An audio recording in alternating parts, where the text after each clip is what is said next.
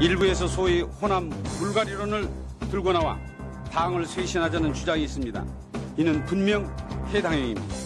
또다시 인위적 청산을 들고 나오는 것은 우리 민주당을 두 번 죽이는 것이 아니라고 얘기할 수 없습니다. 다시 한번 내 가족의 등 뒤에 칼을 꼽아야 되겠습니다. 이건 안 됩니다. 신문에 그런 게 나가지고 온 국민들이 볼 적에 한 번 죽은 분들을 두 번 죽이는 그 이 CD 뭐 이 어쩌고 해가지고 정말 이분들은 덩어리에 칼질 하나씩 당한 겁니다. 상처가 굉장히 아립니다. 여기다 소금 뿌리는 짓은 우리가 해서는 안 됩니다. 어, 몽골 기병의 그 신속 기동성을 어, 주장하는 이 정동영 당회장의 지휘 방침에 의거하여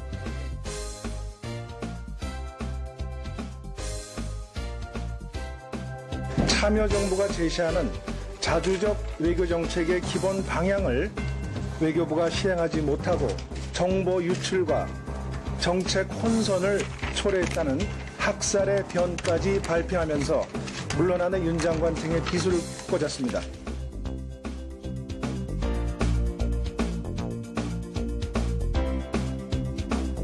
이미 다 우리는 위반했다고 다 생각하는데 여기 보면 뭐 법 위반 뭐 보기 어렵다 이런 식으로 하니까 우리가 화가 나는 겁니다. 어?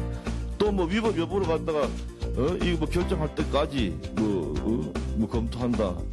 그러면 이 결정할 때까지 대통령 우리가 뭐 입을 갖다 대할 겁니까? 계속 이런 발언을 갖다가 위반하는 발언을 갖다가 늘어놓는단 말이야. 이건 좀 농담입니다만은 저 자신이 만약에 D나 E를 받고 내가 납득할 수 없는 상황이었다면 나는 아마 이 당사에 독일 들고 갔을 겁니다.